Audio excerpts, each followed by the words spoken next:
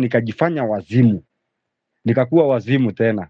Yani nilifanya vituko kwa hiyo kwa hiyo nikakuwa wazimu. Nikaanza kuokota makaratasi lakini ni wazimu mwenye najielewa. Wewe fungu so venye daktari alifungua ile kidonda ule jamaa alipiga nduru kwanza juu ya kustuka kwa sababu nilikuwa mgonjwa hata nilikuwa nashindwa kutembea. Sahii sina kidonda hata moja kwa natembeanga kuombea watu kuwasoma nyota. Kuelezea wanajifanya wamepotea wanasaidianga watu. So kwa hawa watu nikaendanga nikafunzwa hiyo kazi. So nikajua hiyo kazi kuibia watu na neno.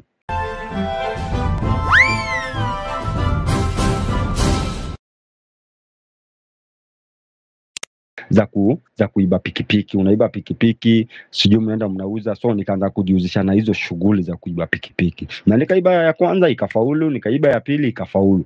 Ya tatu nikaibia nikakuwa mjinga nikataka kuibia rafiki yangu. So kuibia ule rafiki yangu na tayari alikuwa ananijua na anajua tabia yangu. So ilifika masaa fulani venye aliona nimemuomba na sijarudi yeye alianza kunishughulikia mapema kunitafuta. So walinishughulikia wakatafuta mama yangu na wakaripoti mpaka home. So kufika huko home hiyo senda tayari nilikuwa nishapata habari. Niko hizo area za huko hizo side za huko home kwa sababu hiyo ndio barabara. Nilikuwa naenda naficha huko karibu na kwetu ushago nasikizia alafu naisafirisha naipeleka mpaka kericho. Huko sasa ndio tulikuwa tunapelekanga. So nimekuja nimekaa nimeona nimetulia pale. So kusikia fununu nikasikia venye kuko. So mi nikachukulia pikipiki nikaipeleka kwetu na mi nikatoroka. So kutoroka nikaenda nikakakaa nikakakaa kiasi pikipiki wenye pikipiki wakachukua na wakarudi. So nikaanza maisha yangu sasa huko ushago. So nilifanya fanya mambo yangu nikafanya fanya mambo yangu. Siku moja kuna jamaa alikuja akanipata. Nilikuwa nimeandikwa kuandika piki, ni kuendesha pikipiki. Sasa tuko 2012 nataka nikupeleka by mwaka ndio mtu asipotee. So tuko 2012 so hii 2012 eh, nimeenda huko ushago na mimi ndereva wa pikipiki nikapata pikipiki. So nikibeba beba zangu kuna jamaa alikuja akanikomboa nimpeleke safari mrefu. Alikuwa anaenda kununua hizi ngozi za za ng'ombe hizi ngozi za kondoo hizi mangozi. So yeye alikuwa anaenda kuzinunua huko anazipeleka Nakuru kwenda kuzi, kuziuza. Wakati huo kulikuwa kumenyesha ni area ambayo inajulikana kama Olukuto huku mahali unasikianga Kenya kuna mahali kunaitwa Mau so kuna kuna kuanga na mvua imenyesha sana so wakati huo barabara iko imetengeneza ngo ya lami so ilikuwa ni hii road. So kutoka hapo gari ilikuwa ni ngumu, kwani ile kitu ambayo inaweza kusafirisha kwa haraka ama vizuri, labda pikipiki peke yake. So huyo mjamaa akanikomboanga na akanipatianga pesa mzuri sana, na tukaenda. So tukienda venye niliona pesa yenye ako nayo, kitu ingine ikanishika ikaniambia, hii pesa huyu mtu afai kukaa na hii pesa, hii pesa inafaa ikue yangu, sio yake, ikue yangu. Sasa so venye tulienda tukaenda tukaenda, so tuko kwa barabara, nilimpitisha kwa hizo mtaro, so unajua kumenyesha, kuna tereza tereza, so nilienda nikatime, unaona hizo barabara hizo barabara za corrugation eh, zinakwanga zimechimbwa, alafu huku kando utapata kuna ile ukuta ya mchanga, labda mali ilichimbiwa kuna ukuta. So huyo jamaa nilimpimishanga pale, nikaidungisha kwa mtaro, akaruka, yani akageuka. Unajua yeye hakuwa ready, lakini mi nilikuwa ready yeye hakuwa tayari lakini mimi nilikuwa ready. So ile venye aliruka nikaruka na yeye na spana. Nikamfanya nini? Nikamwekelea na nikampora zile dona nikafanya nini? Na nikatoka. So kuhepa kumbuka tumeenda hiyo nilitoka huko nilitoka huko so kumenyesha sana kumekuwa hata kumeenda usiku so sitaweza kutoboa kutoka huko mpaka nifike home E, kwa ile kwa ile muda ambayo nilikuwa nataka so nitafute mahali nilale kesho yake asubuhi nifanye nini nianze safari saa ya kurudi kwa sababu alikuwa amenilipa pesa mzuri ilikuwa ni safari mrefu so mimi nikapata mahali pa kulala na kesho yake nikafanya nini? Nika nikasafiri. Ah, nika nikaenda. So so nikatoka hapo na nika nikaanza safari yangu. So kwa safari yangu na huyu jamaa mwenye alikuwa amenipatia pikipiki yake niendeshe na anajua tabia yangu akili ikamwambia uende ikawa fulani alitoroka na pikipiki yangu kwa sababu ananipigia niko mteja nilizima simu kwa sababu huyu jamaa nikianza kumbeba alinipatia namba yake. So nikazima simu kwanza hata akinitafuta asinipate. Ya pili niko mteja. So huyu jamaa amenishuku na anajua tayari pikipikia imefanya nini imeenda safari ambayo nimeanza ni mbali nimetoka huko saa kumi na mbili. Niko kwa safari nitakuja nitafika iria za kwetu nyumbani kitu mwendo wa saa nane saa tisa hapo. So nimekuja nikaanza safari kukuja. So nikikuja kwa njia nikajiuliza naweza nikafanya nini? Disaini huyu jamaa mwenye ako huko hata akikuja kunifuatilia asikuja akanipata. Mbali na hiyo ninajua nimekosea mwenye pikipiki. Nitafanyaje ndio isikuje ikakuwa kesi ikuwe ni kesi ingine tofauti. So akili ingine ikaniambia fanya hivi juu hizi pesa ni mingi zenye umeiba ilikuwa ni karibu 70000 za kenya. Ingia kwa hospitali enda ulipe daktari akufunge bandage kwa tumbo na akuwekeeke akufungefunge tu bandage ili ukirudi pale mahali ulikuwa, wale wa jamaa kama walikuwa wanakutafuta, uambie pikipiki ilikuwa imeibwa, ulikuwa umeijakiwa, that's why ndio ume, ume, umechelewa hivi. Sasa nigonjeke, nikaeka kwa nyumba nikisikia venye hali iko, na hivyo nilifanya. Nikaingia kwa daktari nika akanifunga bandage kwa tumbo, bandage kubwa sana, na akaipaka GV. So mimi nikachukua ile pikipiki, nikirudi nyumbani juu nilikaa pale sana kwa ule daktari, so ikafika ni ile masaa ya watoto kutokea shule. So nikirudi nikapata wajamaa wa kutoka hapo mahali mimi naishi, so wengi hata walistuka, akasema kai ndio huyu fulani, nika nikaanguka hapo. So kuanguka, mjamaa mmoja akachukua pikipiki akanibeba, yani ile kujiangusha. Mi upande huo wakati huo kwa kupretend nilikuanga namba moja, so tukachukulia hapo na tukaenda rudi mpaka pale home. So kufika pale home nimetulia pale, wajamaa wakapigiwa kweli kabisa, walikuwa wameitana na walikuwa wananitafuta so wajamaa wote wakarudi, nini imehappen? Eh, ati alikuwa amehaijakiwa. So kila mtu anakuja pale, eh, atulidungwa kisu ya tumbo. Sana wadanganya, nilipigwa daga ya tu daga ya tumbo, lakini ni zile pesa zile nilibia ule jamaa nazis, na nazificha ili niweze kusikizia kama hii kesi itakuja ilipuke. Ikilipuka naweza nikafanya nini? Naweza nikahepa. So nikakaa pale, so kila mtu alikuwa anakuja kuniona, alikuwa anakuja kuniona, hey, pole sana, shika mia tano. Nikaanza ni kama kuchangisha na changisha, nikaanza kula mzuri kwa wiki mbili, ka, kichwa kanaletwa pale, ulimi ya mbuzi chemshiwa pale. Brother yangu ule mkubwa akawa ndio anakuja kunishughulikia. Kumbuka mpaka yeye hajui chochote, hii ni siri yangu mimi mwenyewe na hata kutembea kwangu inatembea na miti, kwa sababu kumbuka, nimedungwa daga ya tumbo, so sitaweza kutembea. So niko na kamiti nime nimetafuta kaku, lakini kumbuka, mimi niko sawa kabisa. So nilipokaa hivyo, tukamaliza wiki mbili, wajamaa wakasema hapana, hii kidonda huyu jamaa imekaa sana, tumpelekeni osi akafanya nini aende akaoshwa. Na juu kuna yule daktari mwenye alimtibu mara ya kwanza, tumrudisheni huko aende akafanya nini, aende akatibiwe. So wajamani wa pikipiki na wameamua na ni wengi, utakataa? So na ni wewe ni mgonjwa, ukikataa nini? Kwa nini unakataa? So mimi nikakalia pikipiki na tukafanya, tukaenda mpaka kwa ule daktari. So kufika kwa ule daktari tukaingia kwake, venye yale niona na ameniona na grupa akastuka, na ni karibu wiki wiki moja na nusu kama karibu wiki mbili, so ameniona amestuka. So kuingia pale ndani, tukaingia, akasema hey, tumekuletea huyu mgonjwa, unamjua? hey, huyu ni mgonjwa wangu, hata ni mimi nilimti ni mimi nilimtibu eh, eh, tunataka umfungue umuo. Daktari akasema mimi na mimi siwezi fungua mgonjwa, nyinyi mkuwa hapo. Daktari anajua kenye kinaendelea kwa sababu nilimlipa. Kumbuka nilimlipa, so anajua kenye kinaendelea. Wajamaa mmoja akasema hapana, kila mtu aende nje, lakini hakutakosa mtu mmoja at least hata aone kidonda ya jamaa wetu ama ya mwenzetu inaendeleaje. Sasa daktari ako pale ameniangalia macho, mimi na mimi nimemwangalia, ananiuliza nifungue mimi sasa nimekanyanga chini. Huyu jamaa nini hataki kutoka? Amekatalia hapo. So amekatalia hapo anamuuliza daktari nini ufungue? Ah, mimi nikamwambia daktari wewe fungua.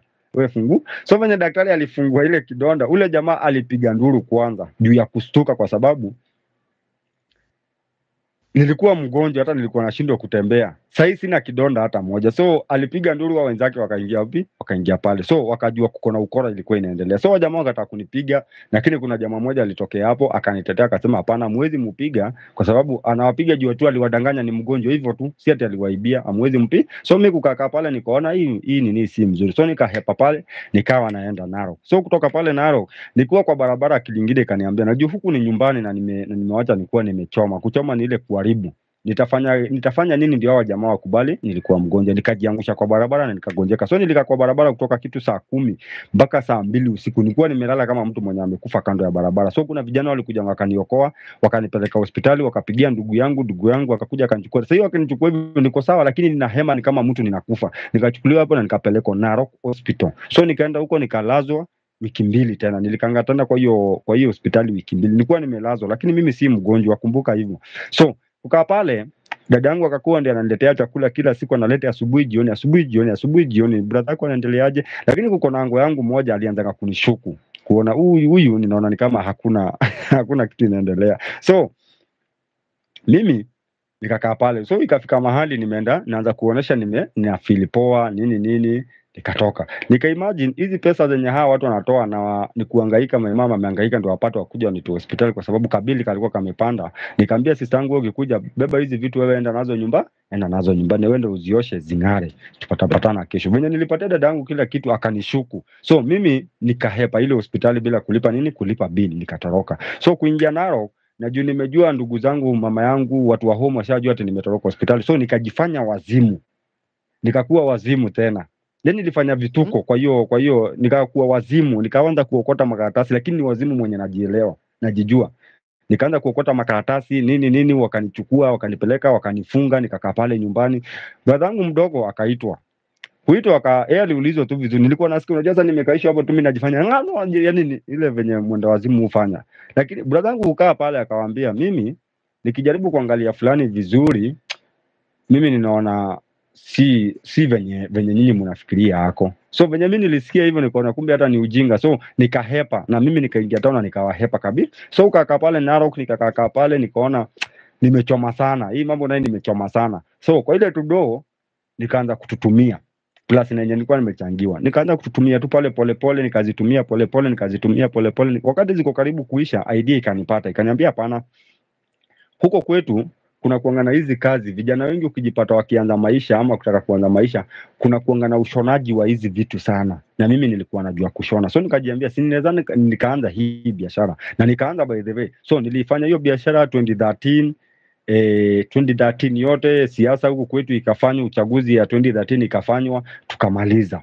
So niko pale na nikaanza kugain. Nafurahia sana kwa sababu nina marafiki wengi ambaye nilikuwa nafanyanga nao nilikuwa nafanyanga nao kazi hiyo wakati ninaona hata wengine tayari wamejoin hapa hivi. So nikaanza kufanya hiyo kazi ya kushona shanga. So nikashona ile kazi shanga nikashona hizo shanga na biashara ikashika vizuri tena sana na nikaanza kuajiri vijana. So fanya fanya ile kazi nikawa nafanya ile kazi na mimi ni broka nafanya ile kazi na mimi ni broka nafanya ile kazi na mimi ni broka so siku moja nikuwa tu harakati zangu za kupitapita hapa pale.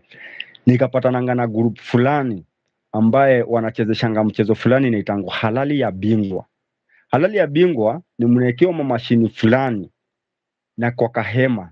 Alafu mnaambiwa kuna kushinda lakini hakuna kushinda. Ukweli ni hakuna kushinda. Lakini wamewaekea pale ili ni yani ni maconman muweze kuibiwa Mnaelewa vizuri. So hawa se walikuanga wamekujanga naro, kwa wanakujanga design kama ya promotion. Hata ukienda kutafuta mabarua wanatafutanga kama ya probation, lakini huu ufafanulia huko wakubwa wakubwa wanafanya mambo yao na wanaruhusiwa wafanye nini? wafanya kazi zao. So eh, hawa se nikawaonanga. So hiyo siku nilikuwa nimejiambia wacha ni wacha niende ni wacha niende nika wacha niende nikafanye ka shopping kidogo, kwa sababu nimekaa bila kwenda kumtembelea mama yangu, at least nimpelekee nini nimpelekee ka shopping at least kadogo aweze kujipanga. So nikienda kwenda pale kuvuka pale kwenda supermarket ya Naivas nikaona kahema.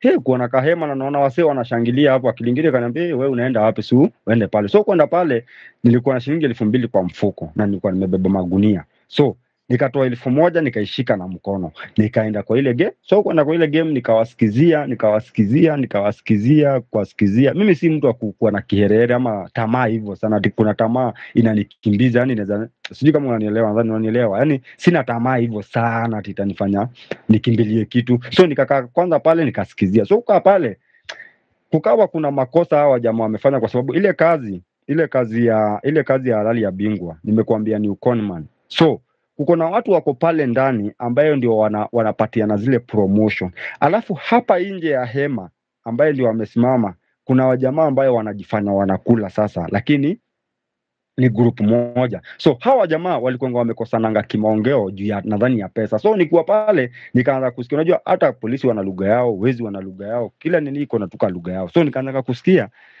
kuna kitu huyu mjamaa mwenye ako ndani anaongea, hata kama aongei akifesi, huyu anaongea kuwa amejifanya na fesi mwenzake, alafu tena ule mwenye ako nje anaijibu na yeye akijifanya anaongelesha nini. So akili yangu ikaanza kunionyesha hawa watu ni kama pamoja. So nikatoka pale nikajiambia, hebu wacha niende juu sijaelewa hii game vizuri, wacha niende, nitakuja kesho. So mimi nikaenda zangu nikafanya shopping yangu na nikafanya nini na nikatoka pale na ni, nikaenda nyumbani. So kwenda nyumbani kesho yake asubuhi nikakuja nikafungua kazi yangu ya shanga. Mjamaa mwenye alikuwa ananisimamia kazi akakaa kitu saa tano hapo, nikaenda kwa ile game nikajiambia sasa, acha niende, lakini sitaenda kucheza, naenda kufanya nini? Kuipimia. So kwenda kufika pale wakaanza kuniita msororaji, kwa sababu jana waliniona na jana walijaribu kuniambia nicheze ile kusikizia. Unajua, lazima ukifika pale unaambia, unauliza hii game inaendaje, hii game ni poa nini, utapata watu wa kukuingiza ingiza box. So mimi nilikatana na stories zao, so wakaanza kuniita msororaji. So venye nilifika pale kusikia wanaanza kusema sijui nini, msororaji ni kama ni kama mjuaji wa kitu, yani unajua, yani umekuja ku sijui nitakuelezea namna gani. Msororaji sijui nani anaweza nisaidia sema msororaji msororaji ni kama mtu fulani anakusorora yani anakuangalia. Sijui nitaku- nitakuambiaje na kiswahili kwa sababu sijui na kiswahili. Eh? Kama mtu anakuchora tuseme. eh, ama spy. Okay. eh, kama spy. So niko pale kama spy. So wakaanza kuni, kuni ile kunipigia nini nikasonga mbele. So nilikuwa nimesimama pale kando kulikuwa na masai alikuwa amekuliwa do mimi nikiingia ndio alikuwa ameendea pesa. Kumbe alikuwa amekuliwa pesa ingine mingi. So alikuwa ametumwa tena mara ya pili. So kwenda e, kwenda akakuja. Ile pesa ikakuliwa. Nakwambia kumbuka hawa labda ukule wakitaka si hata ufa, hata ukuje kama umeenda kwa mganga akakuzika akakutoa uwezi kula kwa sababu ni vitu ambaye si, ah, si halali. Auwezi ukakula. Si vitu ambavyo unafaa kukula. Sijui kama tunapatana. So huyo mzee akakuja akakuliwa do so venye alikuliwa zile do zake yeye alipiga nduru na akachomoa kisu so kuchomoa kisu mi nilikuwa ile side nyingine, nikaruka pande hii mbio nikakuja nikamshika nikamwambia jumi nikamwongesha kimasai. Nikamwambia ndauo tungai tungai pi yani kumwambia wachana nayo kabisa usi, usifanye kitendo yote. So wale wajamaa wenye waliona nimemshika wakanitekia mimi advantage wakaniambia ambia mzee aitishe discount ambia mzee aitishe discount waache fujo. Sasa nikaanza kumwambia ndio mbona tunye discount. So kumwambia hivyo nikumwambia mnitisha discount. So unajua hata mimi sijui sisi wote hata afadhali yejo ame amecheza cheza hapa kwa muda. Mimi namwambia tu nimesikia akisema. Nikamwambia itisha discount. So mzee akasema leta hiyo discount. Leta dis- discount. So mzee akapata. Discount ni ni kupimwa tu. So kuitisha hii discount unakuja unaambiwa eh, unaletewa ticket ambaye ni ya kushinda kazawadi kadogo. Kumbuka mzee alikuwa amekuliwa almost eh, more than 140000 sasa amepatiwa ka kitu kwa elfu tatu ama elfu nne. Ameambiwa ameletewa tiketi aliletango tiketi akaambiwa uko na shilingi tano. Ile kubwa ile ya kona kona akasema yeye ana hiyo shilingi. Tano so kwa hawa hawa tu wenzao mmoja akatoa akasema nitamtolea mzee mmemkula sana. Mzee kumbuka huyo ni mwenzao. So ni vile tu kumrudishia nataka kumuonyesha kumbe watu wanakuliwa na wanaku na wanakula. So ule mjamaa akamtolea na mzee akakula nini? Akakula ile duo so kule ile kitu akatoka pale akuwa amejam na akafanya nini? Akaenda. So ule mjamaa ambaye ndio alikuwa na manage ile kazi akaniona. Akaniambia e, wewe unafanya wapi? Nikamwambia mimi ni akaniambia fanya hivi shika shilingi hii akanipatia shilingi elfu tatu. Akaniambia shika hii elfu tatu fuata ule mrasta mwende lunch mkimaliza mfanye nini? Murudi. So tuta, tutaongea zaidi. So mi nikachukua ile elfu tatu nikaenda. So elfu tatu hata kama unaweza kula shilingi elfu tatu kweli huwezi kula elfu tatu. Ile kitu hapa nilienda nilikuwa nenda nikakula ugali na matungu ugali na matumbo na ni 90 bob. So nimebaki na more than elfu tatu elfu mbili mia tisa na shilingi kumi. So tukarudi pale kwa game. So kurudi pale sasa tumeanza kujuana na wale wajamaa hapa. Na sasa mimi nimeanza kujua kumbe hii ni ukora hii si mambo ya ukweli. So mi nimeanza kuchanuka tu polepole so mjamaa tukatoka lanyi na tukakuja pale kwa hema. So kutulia pale kwa hema tukafanya fanya. Walikuwa wamekula kwa sababu sio mzee mmoja kuna wengine wamekula elfu ishirini mwingine elfu tano mwingine elfu kumi mwingine elfu hamsini hivyo so wako na pesa. Haya. Wakafunga kazi mwendo wa saa tisa hapo. So kufunga kazi kuna mahali wanaendanga wanachukuanga hizi maloji wanaingia wanakaa. So mimi nikawafuata pale tukaenda tukakaa pale nikasikia jamaa nimetumwa, nikamwambia kwa hiyo mjamaa mgeni wa huku? Hebu muiteni. Nikaitwa pale ndani. Nikamwambia ni aje bro poa sana. Unafanya kazi? Nikamwambia "Eh, kama hata kama ni wewe kama unapatia shilingi elfu tatu lunch. Je mshahara itakuwa pesa ngapi? Hata kama uko na kazi wewe mwenyewe unaweza kubali. Mimi nikamwambia mimi sina ka lakini kumbuka niko na kazi yangu inaendelea lakini nime nimewachia mtu wa kazi. So nimekuja hapa nitama yani ni ndio imekuja yani nimeona kama ni kazi nyingine ni different juu sielewi madhara yake.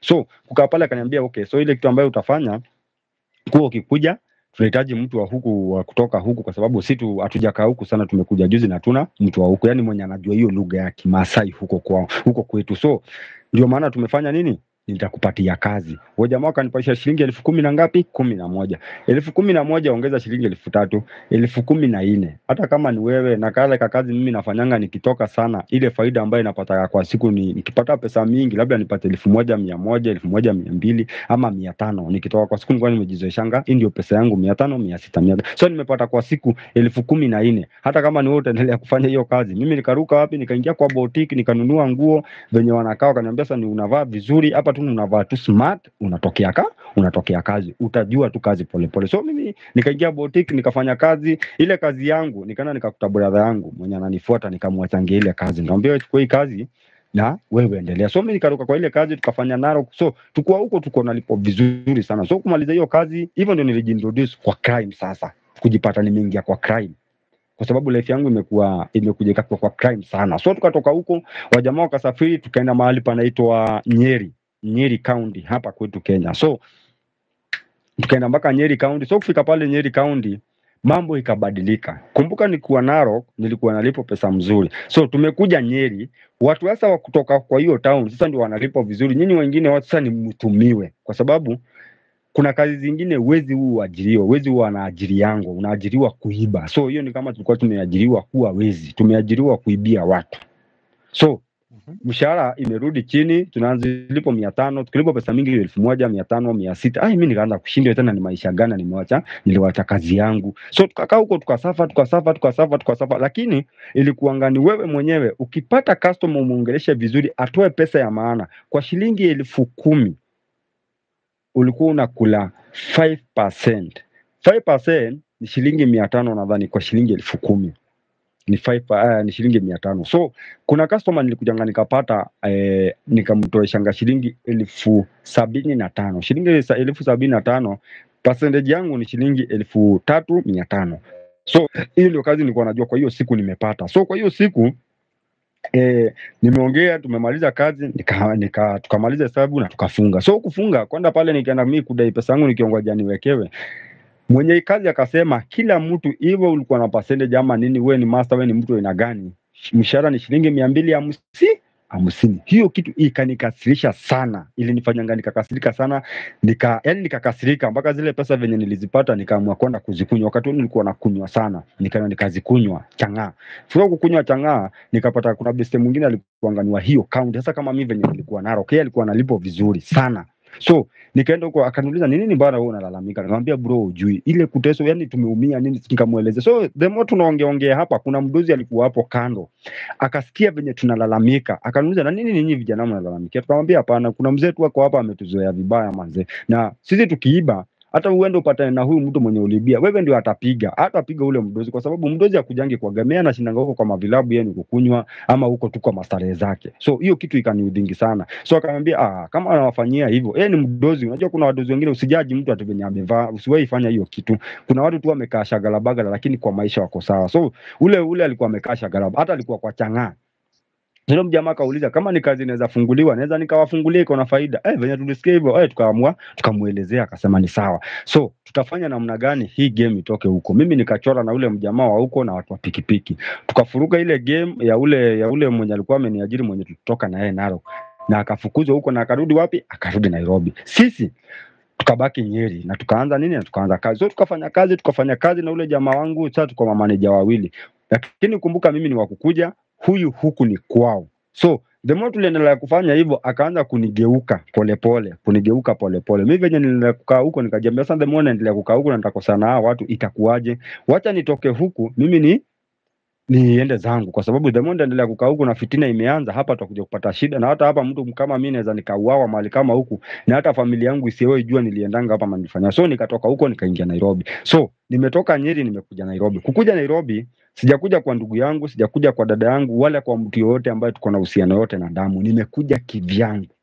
So nimeingia Nairobi, lakini ikikuja nilikuwa na tupesa nimejisevia sevia. Unasahau nilikuwa manager mahali, so niko na tupesa. So nimekuja nimekomboa nyumba lodging. Obvious nilikuja ni lodging kwanza, nilikomboa pale na eh, pale CBD Nyamakema, nikakomboa lodging hapo na nikaanza kulala pale. So nikasukuma sukuma pale, the more nasukuma more siku zinaendelea zikisonga, siku zinaendelea zikisonga, tule tu pesa inaendelea kutukula, tunaendelea kuisha, tunaendelea kukula, tunaendelea kuisha. So venye naendelea kukula tule tudoo tudoo, tukaendelea kufanya nini? Kupungua. So sina kazi, so nikaanza kutafuta companies zote za kushikana, at least sasa nijue form ni gani. So ile group ambayo nilipatana nayo, nilipatana na group ya ku ya ku ya kufanya yani kuibiana na pinji. Pinji ni hawa pickpockets hawa unatembea tembea kidogo, una wallet kidogo, sijui nilikuwa taa, umekosa simu kidogo, sijui nilikuwa wapi, nimekosa kitu fulani, nikashikana na hiyo group. Kushikana hiyo group tukawa sasa tunaanza kufanya kazi na tukaanza kushikania mpaka nyumba. So unapata tumeenda, nimetoka kwa ile nyumba ambayo mimi nilikuwa nakaa, sasa tumeenda kutafuta nyumba ambaye ni double room, ambaye tunaishi tukiwa wanne na ni shilingi mia tano kwa siku. So kila mtu ataenda kila siku, ukikuja jioni unakuja na 125 125. So tukawa kwa siku utakosa hiyo 125. Hiyo ni ya kuishi kwa siku. So tukawa tunasukuma hiyo kazi, tukasukuma hiyo kazi, ninapata saa zingine nakosa, maisha inaenda hivyo inaenda hivyo. So siku moja nikawa natoka mahali nimelala naenda kukunywa chai pale soko ingine inaitwa hapa Nairobi Mudhurwa. So ni hapo ninaenda kukunywa chai. So kwenda hapo kuvuka barabara, ah, nikienda huko kuvuka barabara, nikienda kukunywa chai hapo OTC, kuna mahali panaitwa OTC, kuna eh, kuna bank inaitwa Equity Bank. Ni asubuhi, ni saa moja asubuhi, ni ile masaa watu wameharakisha, wanaingia kwa masoko kununua vitu, wengine ndio wametoka kwa mataun zingine, ndio wanaenda soko ya Gikomba kwenda kununua mitumba, waende wakafanya nini, waende wakauze. So mimi niko kwa hiyo barabara, mimi ni naenda mimi kukunywa chai, mimi siendi Gekomba naenda Mudhurwa kwenda kunywa chai. So niku, nikuwa pale, kuna mama alikuja ambaye alikuwa ni Muoria, ni mama Muoria. So huyu mama venye alikuja akanipita, alikuwa mfupi, mimi nilikuwa mrefu kwake. So venye huyu mama alikuja akanipita, obvious mimi nipinji lazima ni nikaekae niko rada, yani uko rada tu kila mahali. So venye nilikuwa tunasungusha sungu, eh, huyu mama niko na mipi? Kuchungulia hivi kibeti yake, nikiona imefunguliwa, alafu ndani kuko na bumba. Kuna hizi pesa, kuna pesa fulani huku kwetu Kenya ziliisha, zilikuja zikaisha tukaletewa pesa zingine type ingine. So hizo pesa za kitambo hizo madhao hizo mangiri hizo ma elfu moja moja hizo ndio naongelea, zilikuwa kubwa alafu ni smart. So venye niliziona nikufanya hivi nikaona "Ah, hii ni kazi. So ile jacket nilikuwa nimevaa nikaitoa haraka, ingawaje sikuwa na mtu wa mkono. Kumbuka ukitembea ukiibiwa, usikie simu yako imeenda, kibeti yako imepotea, nini imepotea, wewe jua huyo mtu mwenye alikuchuna, kuko na mtu sasa alikuconvince, ndio ule akapata nafasi ya kukuchuna. Sasa siku hiyo mimi niliamua nifanye bila mtu wa nini, bila mtu wa mkono. So nikachukua jaketi yangu nikaiwekelea hapa na nikaharakisha nikafikia ule mama na nikaanza nini, nikaanza kuingiza vidole. So tunaharakisha pale kwa barabara, kila mtu tuako shughuli zake, lakini mimi niko busy hapa kufanya kwenda kuingiza mkono hapo. Sasa tuko mlango ya bank, kwenda tu kuingiza mkono kushika hivi, kuko na mjamaa alinipiga kofi nikaanguka na kuanza kuniita mwizi, na ni asubuhi. Sasa sijui kama ushaiona mwizi akipigwa asubuhi, hata afadhali upigwa hiyo masaa ingine asubuhi. Kila mtu ako na nguvu, kila mtu ako soba, kila mtu ako na energy, so unapigangwa hata umalizangi dakika tano before ukufe. So venye nilisikia mwizi, hata sikutaka kushughulika na ile jaketi yangu, nilitoka hapo mbio na nikashika barabara ya kwenda. Kuna mahali hapa Nairobi kuna kuanga na bezi ya machokora na ukuwa umefukuzwa hata na askari ama raia, ufike pale ujue wanakwamianga hapo, wanarudi kuingia huko ndani, huko ni tsunami, hawawezi ingia. So mimi akili yangu ilinionyesha toka mbio uende mpaka wapi, so nilienda na raia iko nyuma yangu. Sasa ni kwenda mbio kwenda mbio, so nilienda ngani, kwa nime nilikuwa nimeingia hiyo base, ni pale Mudhurwa, Mudhurwa hapa Nairobi, Mudhurwa kuna soko inaitwa Marigiti, so kuna kafula yova kanagonga kamevuka kanaingia Mudhurwa ndani, so hapo chini ndio machokorao na kongo wamelala, so niliendanga hapo direct mali hao machokora wako. So wale machokora wakaamuka na wakaamuka na masindano na manini. So ile raia ikafanya nini? Ikarudi. Nikakaa pale nikajiuliza, "Gai, kama hii kazi ni ya upinzani nilikuwa nafanya, karibu ni uwawe. Hii kazi nikiendelea hivi inaweza kuja nikauawa na nikakufa vibaya, nikakufa vibaya. So wacha niachane na hii kazi. So nikakaa pale nikajiuliza nitazafanya nini. So nikatoka pale nikaenda nikapata wajamaa wengine wana, wana wachezeshanga game ingine inetango ya kafarasi ya, ya nini tatu so ni kadi tatu wanakuanga wanacheza wanaweka kwa box so picha nini kadi moja inakuanga imewekwa picha. Hizi zingine mbili hazinanga picha. So wale wajamaa huchezesha wa, yani mu, kuchezesha mkule so wanakwambianga unafuata hii ya picha hizi zingine usifuata so ukifuata ya picha ukiwekelea pesa unaweza ukafanya nini? Unaweza ukakula. Lakini wewe jua hii ni kama tu ile ingine. Yeye anajua jinsi ataweka ukule na jinsi atajua ataweka usikule. So nikaenda nikawaomba kazi na wajamaa wakakubali wakanipatia kazi. So, so nimeandikwa hapa tena kukua mwizi iko na mdozi hii wizi iko na mdozi wao. So mdozi wa hiyo kazi akanipatia kazi na nikaendelea kufanya. So nikaandikwa pale nikakuwa mwizi tukaandikwa. So siku moja kuko na jamaa tulikuja tukaibia wa kutoka Mudhurwa huku Nairobi. Hapa Nairobi kuko na fulani unapatanga, kuko tuma group unapatanga zinajishikashika nini nini zinashikana shikananga. So Mudhurwa kuna group fulani ya vijana ambaye wanakonga wameshikana wale wa biashara. So kuna mmoja wao alikuja pale akakuja tukamkula.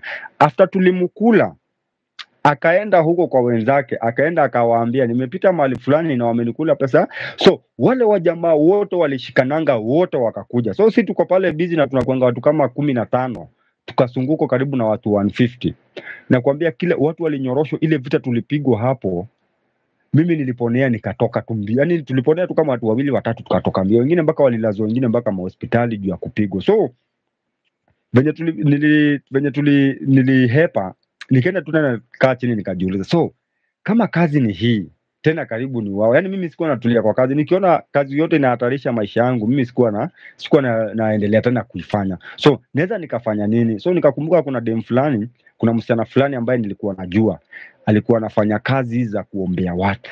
Kuna watu huombea watu sasa, wanatembeanga kuombea watu, kuwasoma nyota, kuelezea, wanajifanya wamepotea, wanasaidianga watu. So kwa hawa watu nikaendanga nikafunzwa hiyo kazi, so nikajua hiyo kazi kuibia watu na neno, unaibia watu na neno la Mungu. So nikaenda nikajifunza hiyo kazi na tukaanza kuiba. So siku ya kwanza nakumbukanga, tuliendanga tukaiba, tukaenda tukaombea msichana fulani, tukamsoma nyota na tukamuibia na juu ile kazi nilikuwa nimeajiriwa, so nilikuwa nalipwa kulingana na percentage. Nikipata pesa mingi napata shilingi elfu mbili kwa siku ama elfu moja ama hivyo hivyo tu kulingana na percentage ambayo itakuwa imeingia kwa hiyo siku. So venye siku hii leo tulienda tuka, tukaiba, huyu msichana akaniambia, ujue hii kazi haina mdozi, mdozi ni wewe mwenyewe. So ukishikwa ni wewe mwenyewe utajiokoa, ukienda jela save pesa ukuje ujitoe, na ukishikwa unaweza ukauawa kwa sababu ni rahisi sana, kwa sababu hii ni ya street. Ile ingine mlikuwa mnaprotektiwa na mwenye kazi,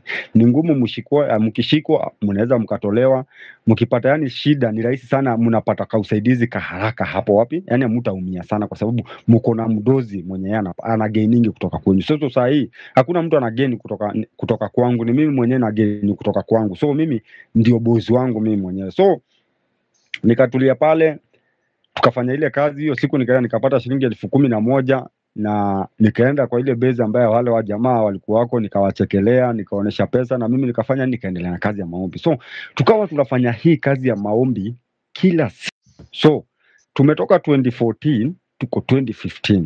So nikafanya hii kazi 2015. So nafanya hii kazi ya maombi kila siku, tunarauka, tunarauka. Ili kazi ni kufaa tu vizuri, mnakaa kama wachungaji na kutokea. So hii kazi inaenda namna gani? Unatembea kwa street, unatafuta mtu na kusimamisha. Nikikusimamisha mtu kama wewe na kuulizia njia, lakini niko na mwenzangu ambaye yuko pembeni tu ametulia tulia. So nikikuulizia njia na kuulizia habari yako mzuri, mimi ni mgeni hapa, nimetoka naweza sema nimetoka mahali wapi? Nimetoka mahali kama Taita Taveta, nafanya na Kijabe Missionary Center na ninatafuta kliniki fulani ambayo inasaidia hawa watoto yatima ambayo iko hii area.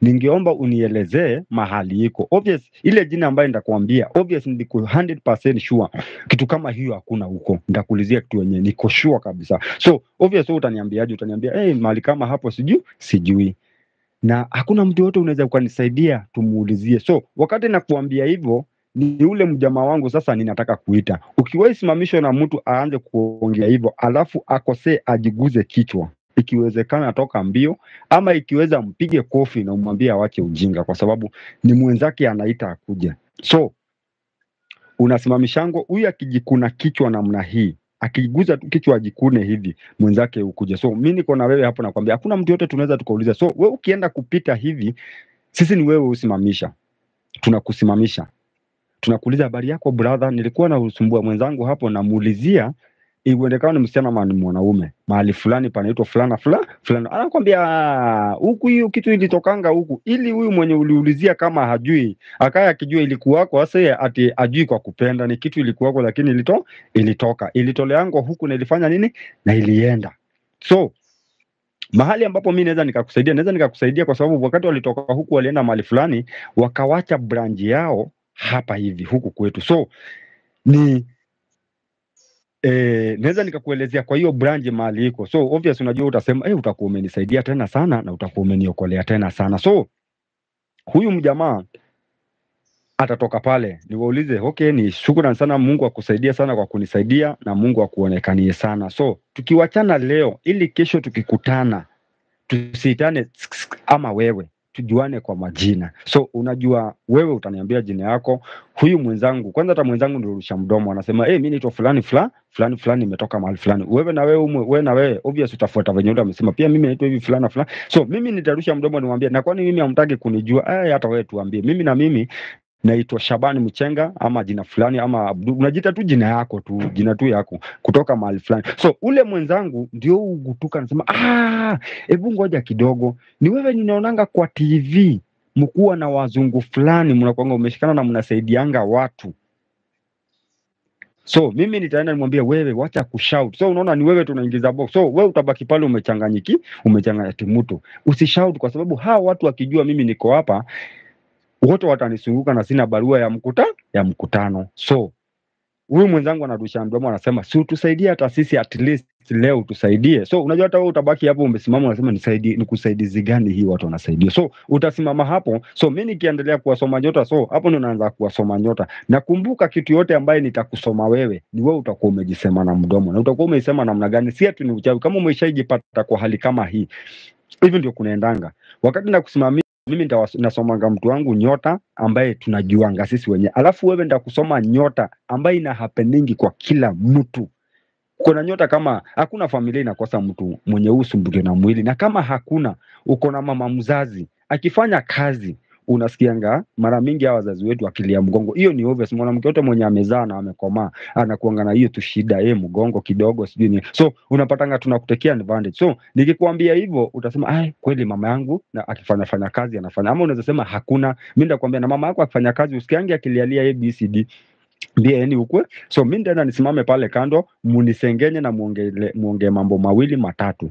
So kenye mtaongelea, nikikuja nijue, nitawasaidia. Nikikuja nishindwe, mimi ndawachana nanyi, ndawachana nanyi. So mi huenda tu pembeni. Huyu mwenzangu mwenye nimewachana yeye anakuanga na kale kasimu kadogo, so hako kasimu kadogo ndio atapiga nako, ndio atapiga, ndio atanipigia mali mimi niko. Unajua yeye akikafinya huyu hatajua, so mimi yeye atakafinya na ashike namna gani na ashike namna hii. So mimi niko huko, mimi ndio ndadisimu na niweke kwa masikio. So everything ambaye mtaongea mimi nitajua, mimi nitakuwa nasikia kila kitu ambayo juu huyu mtu atakuwa eh, habari yako eh, huyu mtu umepatana na yeye, ungekuwa unajua ABCD. Nikuulize, na nimesikia akisema mambo ya ugonjwa, ni ukweli mama yako ni mgonjwa? Eh, mama yako anaitwa nani? Anaitwa Irene sijui nani eh, na hii ugomvi uko kwenye nyumba. So hizo vitu zote nikitoka mahali nimetoka, nikikuja hapo nitakuja zote nizirudie.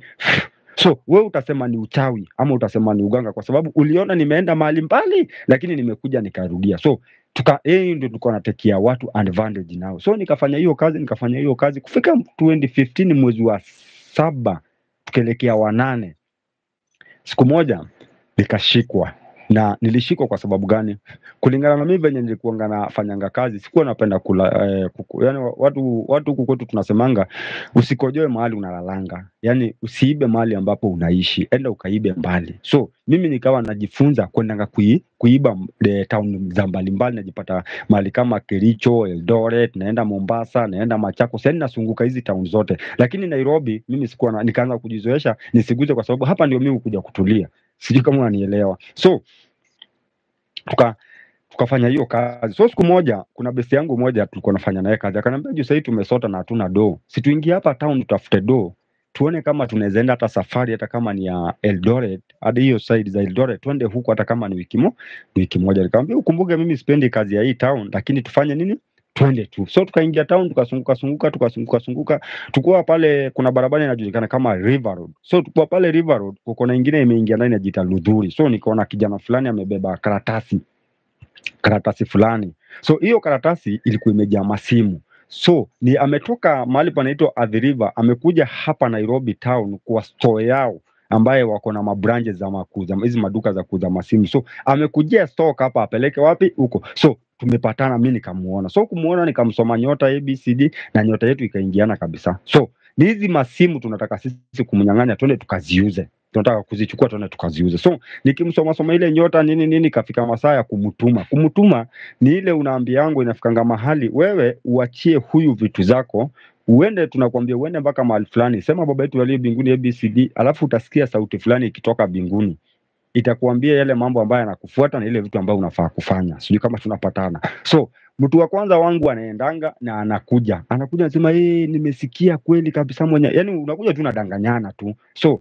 wewe na wewe sasa, wewe ambaye ni customer, tunakuambianga na wewe patia huyu, wewe na wewe uende ukasikie sauti ya nini, uende ukasikie sauti na wewe ukipatia, sasa hapo ndio sisi unatukosanga. So wakati tulifika kwa hiyo stage na huyu jamaa tumemtuma na ametupatia masimu huyu jamaa wangu akaniambia hapana, huyu jamaa venye tumetuma amesema ako na shilingi elfu mbili kwa mfuko. Bro, unajua hata tuna mpaka lunch, so muite tuchukue elfu mbili. Nikamwambia hapana, si vizuri kutuma mtu alafu umerudisha, lakini juu umeshasema wezi wa bishanangi, nenda umuite. So mjamaa venye alienda kumuita, kumbe hapa kando kuko na mjamaa wa jamaa wanatusorora na wanaona kazi ambayo inafanya ile ambayo inakwambia ni spy kuspy, yani wanajua kenye yote kinaendelea. So venye waliona ule jamaa venye alienda ile tu ndio wanarudi hivi, wale wajamaa wakanirukia pa mmoja akanishika hapa, mwingine akanishika hapa. Kumbuka wakati tulituma ule mjamaa wa maombi aende akaombe, alipatia huyu mwenzangu vitu. So wakati huyu mwenzangu mimi nilimwambia ndio muite, yani nipate ile karatasi nishike. So mimi ndio nimeshika zile vitu za exhibit. So venye raia ilinishika mimi ndio niko na exhibit. Na venye huyu mwenzangu aliona nimeshikwa, yeye alitoka mbio na akaenda mpaka wapi? Akaenda mahali panaitwa Grogon. So kwenda Grogon alifuatwa na raia na Mob Justice. So mimi nimekaishwa pale na nusu ya Mob Justice, nusu nyingine imetoa huyu mwizi mwingine mbio. So kufika pale Grogon ukifikanga Grogon hakuna mtu anaweza kupiga, hakuna mtu anaweza akakuguza. Kwa sababu gani? Ukifika pale wale makanika huo wa watu. Kwa sababu gani watu okoe pale? Ndio si uenda kujificha. So anything tutatoka nayo tumeiba huku juu ya maana, hao ndio hununua na bei rahisi. So waizi wakataka shamba yao ifanye nini? Iharibiwe. So wakaokoanga ule kijana. So hii grupu ingine yote ilirudingi mali niko na machungu tena sana. So kukuja pale walikujanga na uchungu mingi sana wengine wakakuja wakaanza hata kunipiga makofi. Uzuri mahali walikuwa wamenishikianga, wanishikianga kwa stage ya Mombasa. Hapo hivyo kwa stage kuna petrol station, so nilishikiwa kwa petrol station. So hapo ndio niko nimekaishwa hapo chini na maexhibit na nini, nikupigwa tunapigwa pigwa tu makofi polepole, kila mtu tu akipita ananipiga, kila mtu akipita ananipiga. So ile grupu kukuja ikakuja ikaanza kunipiga, so kunipiga, wajamaa wakasema mwizi nini, achomwe nini. Mmoja akatoa doo na mafuta ikanunuliwa na nikamwagililiwa, nikamwagiliwa mafuta petroli. So kwa ile harakati kiberiti, kiberiti, endea kiberiti, nani kuna kiberiti?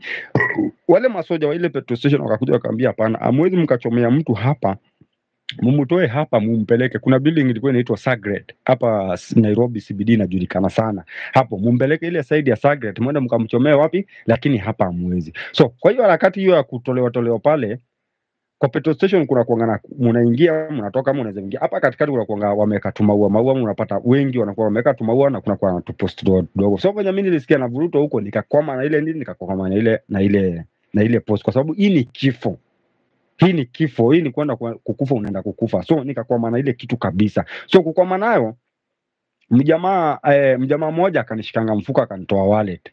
Kunitoa wallet na simu yangu mimi na mimi nikamrukia nikamshika nikasema mwezi mkanichoma mimi ni mwizi na pia huyu ni yeye anani, ananiibia mimi pia yeye ni mwi labda tuchomwe sisi wote so kwa hiyo harakati town katikati ya kukosangi na hawa mapolisi utembea tembea so kuna polisi mmoja alikuwa anatembea. So akaona kuna mahali ali, akaona kuna msanyiko wa watu. So venye alionanga alikujanga hapo. Kuchungulia hivi ananijua. Kwa sababu nimekuambia nilikuwa nafanyanga kazi kwa zile vitu kadi tatu. Zile kadi tatu ukifanya hapo hakuna karao hakuna polisi ya kujua. Kwa nini hakuna polisi ya kujua? Kwa sababu polisi wote wakipita wanapitangia pale kitu kidogo kitu kidogo kamia na unaweza pata akipita pale anaona nyinyi wote venye mmejipanga kwa ile ka game. So tukajuana na tulijuana na maaskari wengi sana nikuwa hapo. So ule askari venye aliniona alikuja akanigrab na akagrab ule ule ule mwenye nilikuwa nimeibia. Akasema huyu mwenye ameibiwa na mwenye mwizi na mwenye na shahidi tushikaneni tuende wapi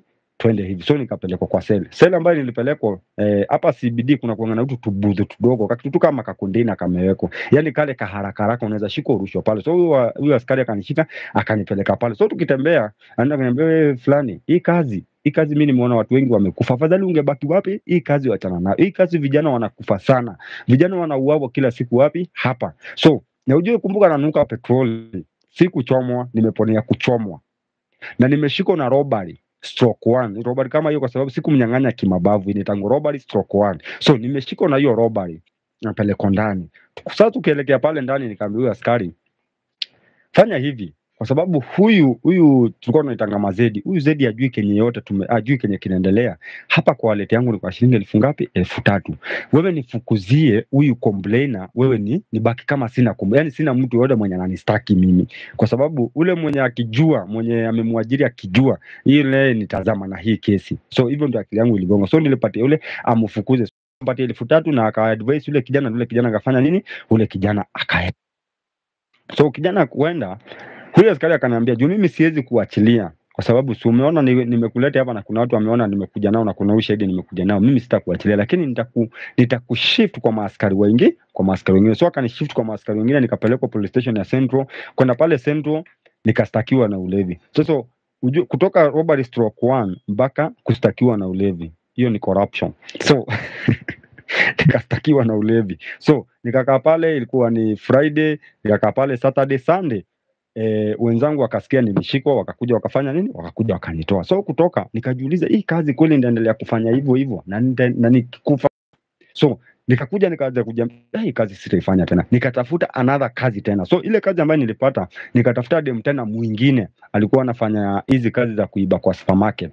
Kazi ya kuiba kwa supermarket hata ukiingilia hata ukiingia kwa youtube uandike tu nini ya ku ah, watu huiba vitu kwa supermarket supermarket utapata utaona hiyo hiyo hiyo ni sale ambayo mi nasema. So ni wasee wanaingianga kwa supermarket wanaiba mnaenda mnaiba huko. So nikapatanga hiyo kazi nikapatanga watu fulani huyo dem akaniconnect na hiyo kazi